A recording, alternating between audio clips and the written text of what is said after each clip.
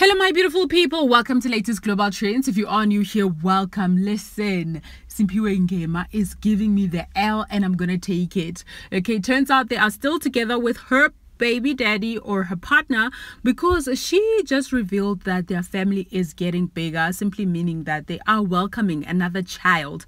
If you're new to the channel, welcome. Please make sure to subscribe, click on the notification bell, and kindly like this video. So, for the past few months they've been giving.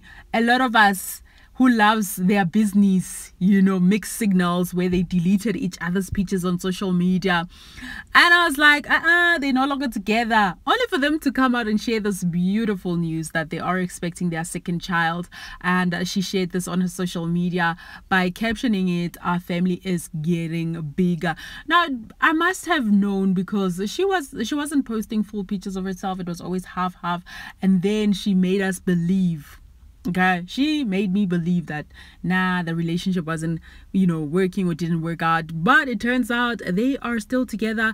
And i saw some people commenting that maybe they secretively got married. They just wanted their relationship off of social media because i do feel that when celebrities relationship are on the social media platform people tend to create izinto like situations that are not there. But anyways Nonetheless, congratulations to them. This is a wonderful thing.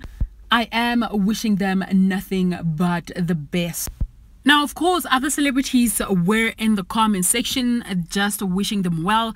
One comment had this to say, so beautiful, congratulations, uh, fam. This is Zenande and then Thembisiete also there, congratulations, love.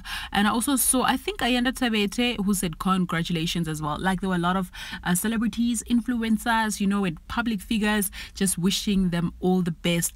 I know I said what I said before. But hey, silage manch. You can judge me in the comment section. Thank you so much for watching. Don't forget to like, subscribe, click on the notification bell so that you don't miss anything from us. And we will see you guys in the next one.